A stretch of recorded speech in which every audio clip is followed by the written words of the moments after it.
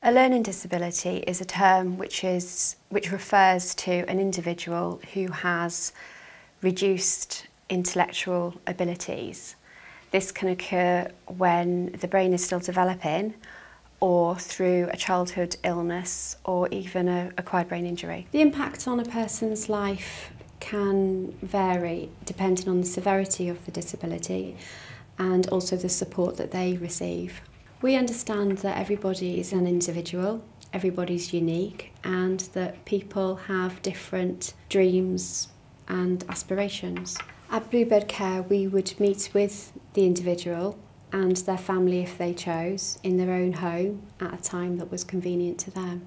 It is our purpose to build a relationship with the person so that we can support them in their development. It's not just about assisting with personal care, it's about supporting the person in things that they would like to do. So whether that be going to school, uh, applying for college, helping with the weekly shopping, going to the local sports centre or gym, you know, to assist with fitness, budgeting or anything really that would impact on their daily lives, daily living. We also understand that families have to manage the emotional and the physical stresses of supporting somebody with a disability. Blue Red Care provides both short and ongoing respite to relieve the stresses of the families or relatives supporting the person.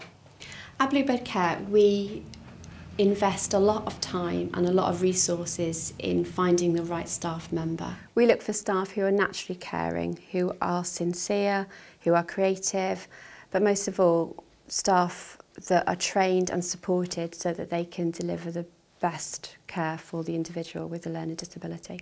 A trained member of the team would arrange to meet the individual in their own home and to devise a plan of support which is outcome focused, which means that the wishes and the desires of that person is put into the plan and those goals are then achieved. At Bluebird Care, we appreciate that everybody's individual. So when assigning staff, we look at a matching process to ensure that the skills and the experience of the staff member match the needs of the person with a learning disability. At times, and with the customer's permission, it may be that we need to liaise with other health or social care professionals.